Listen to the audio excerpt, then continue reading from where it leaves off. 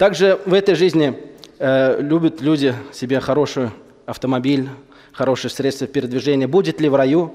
سأل الرجل النبي صلى الله عليه وسلم يا رسول الله هل في الجنة من الخيل Подошел человек к пророку Мухаммаду, саллаллаху алейхи вассалям, и спросил, «О посланник Аллаха, будет ли в раю э, кони, то есть на сегодняшний день автомобили?» فقال صلى الله عليه وسلم إن أدخلك الله الجنة فلا تشاء أن تحمل على فرس من ياقوت حمراء تطير بك في الجنة حيث شئت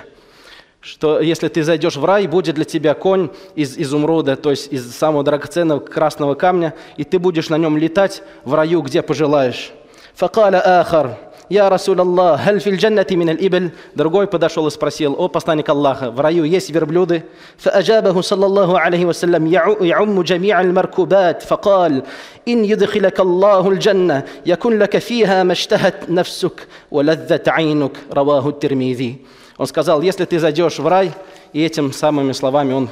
все средства передвижения обобщает и говорит, сказал пророк, саллаллаху алейсалям, если ты зайдешь в рай, если Аллах тебя ведет в рай, тебе будет все, что ты пожелаешь и что твой глаз захочет, сказал, саллаллаху алейхи вассалям.